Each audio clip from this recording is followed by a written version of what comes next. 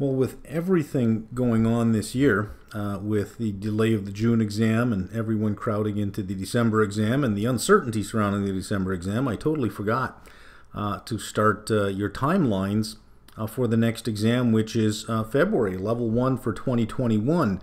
Uh, I should have had a video out a month ago or two months ago. time is ticking away, time is getting short. Uh, if you're registered for February of 2021, you know your exam window is anywhere between February 23rd uh, and March 1st.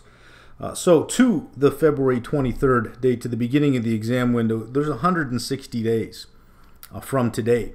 And if you uh, take out 28 days for review, which is really what you want to structure before the exam, that's where you really ramp up and consolidate everything across all the readings.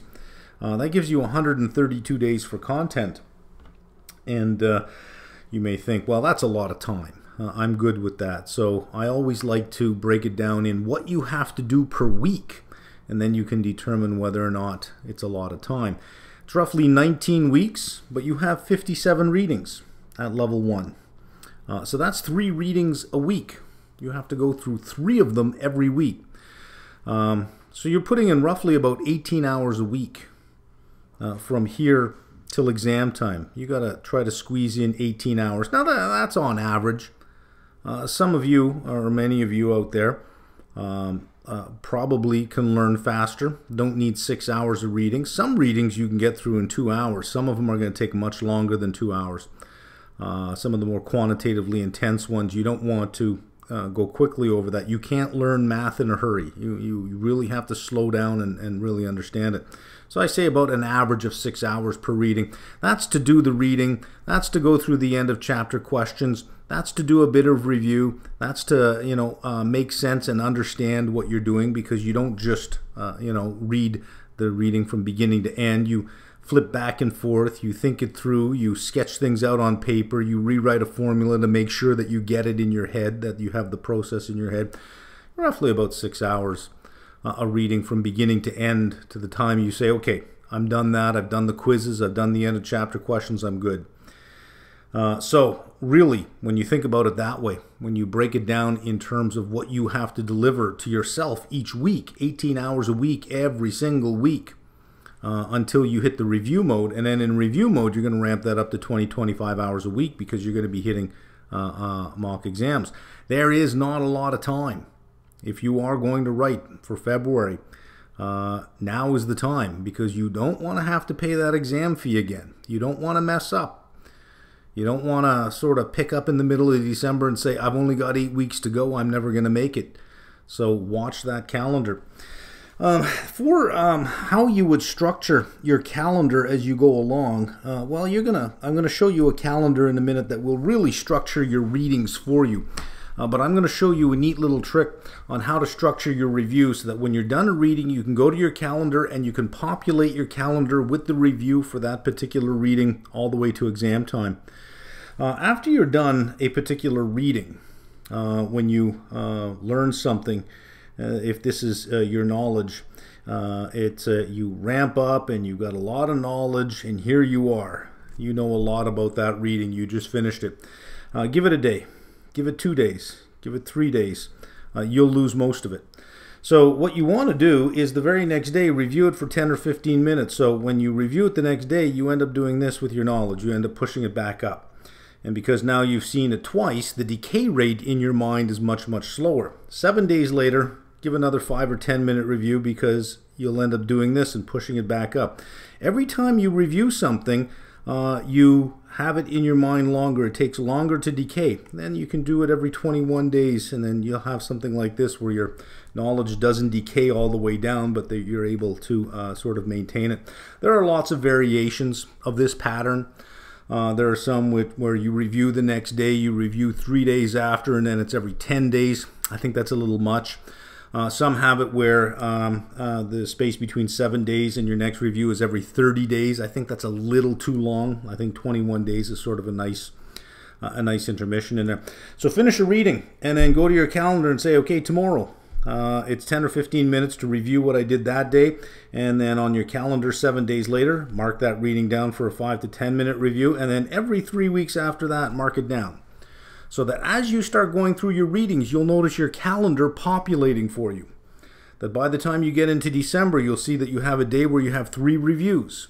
The next day you have two reviews. The next day you might have one, then then four, then uh, uh, then three. So that by the time you get to those four weeks of review, it's not so intense. By the time you do that first mock exam, you're going to say to yourself, you know what, I'm not that far off.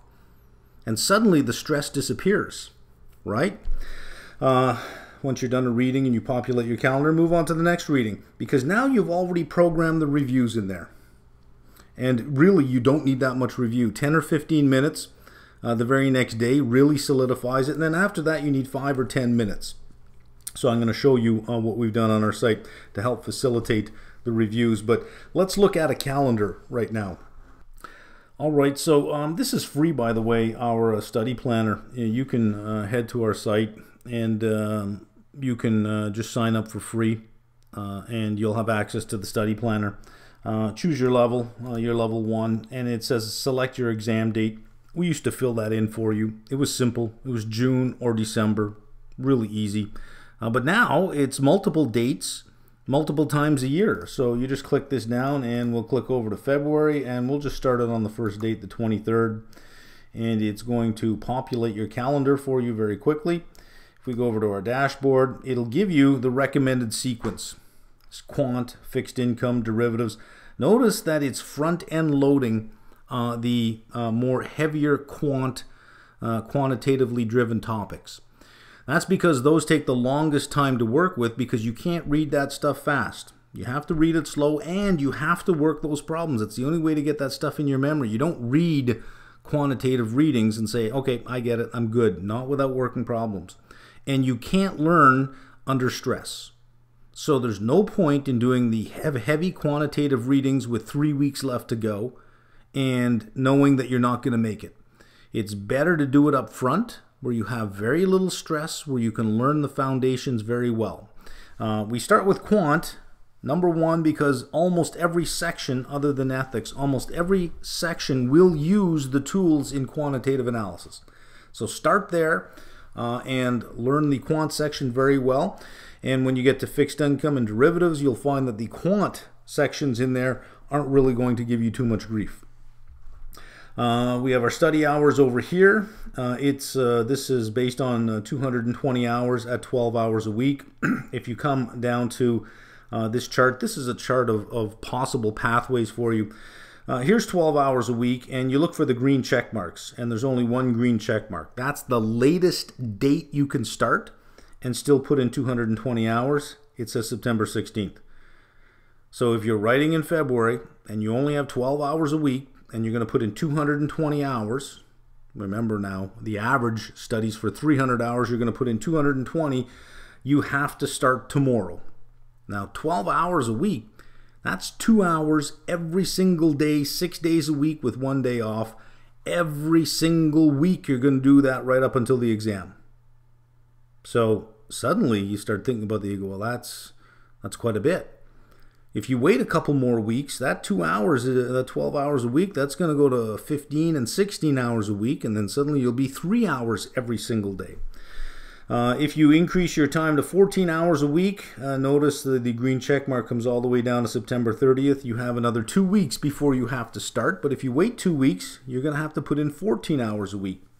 If you wait till October 14th, which means you're going to wait four more weeks, uh, you have to raise your time to 16 hours a week because that's the last uh, entry here on October 14th. And the more uh, hours you put here, uh, the higher the hours a week that you're going to have to do. So play around with the calendar. If you uh, click on the first tab, instructions, there's a video explaining a walkthrough of the whole thing. Uh, so I'm not going to do that. I'm not going to do that for you. Let's have a look at what we have to help uh, support you with the reviews. Um, this, what I'm showing you now, this is part of the paid subscription. Our uh, full level one access is uh, 290 Canadian. Um, on October 21st, we have a price increase of $25, so it'll be going to uh, 315 Canadian. So right now, our full level one is 290 uh, Canadian. Uh, so just keep that in mind. On October 21st, the price does go up. Uh, here's each section. All the videos uh, are, are, within each section, uh, and uh, there's a little analytic uh, window here that you it gives you sort of a, a, quick view on your progress inside. If you scroll down right here, there's a, a, a file folder for all the review videos. Let's click on that and you'll get all the sections up with all of the review videos in there. So if we click on quantitative uh, methods, uh, there are the six readings that are in the quant section for 2021. You can see time value of money. There's a 10 minute review for the next reading. It's 19 minutes, another 19 minute review. So they're uh, all, you know, 10, 20 minute review videos. Uh, that's if you listen to me at normal speed. Uh, no one really listens to me at normal speed. Typically, the average is about 1.5 times. And when you're doing reviews, you don't need to listen to me at average speed. Uh, you can play the player at 1.5 times speed. Uh, so there's two hours, it says right up here, two hours and four minutes in quant to review all uh, six readings. If you're listening to me at, uh, at one and a half times speed, it would take you an hour and 40 minutes to review all of quant. Uh, so you can see yourself doing that maybe, uh, you know, uh, well, every three weeks you'll, you'll be cycling through uh, these review videos, but it really doesn't take that much time. And it really helps you remember it. And you know, after your third review, if you're watching it the second and third time, you can increase the speed from 1.5 to 1.75 uh, because you're not really trying to make sense of what's on the screen. You're already familiar with it. You just need to hear it again, saying, yeah, okay, I remember that. That's good. That's good. And it's that hearing it again that really uh, supports the, uh, the content in your memory uh, so that it doesn't decay. You know what they say, right? Uh, you either uh, use it or lose it. Anyways, there you go. Watch your calendar because time will tick away faster than you can imagine. Watch that calendar and don't let this get away from you because you'll find yourself two, three weeks before the exam with five or six readings left to go, negotiating what you can let go. And you'll be going into that exam knowing that you didn't do 57 readings, but you did 50 of them. You paid for this. Treat it like anything else that you would pay for. Okay, that's it.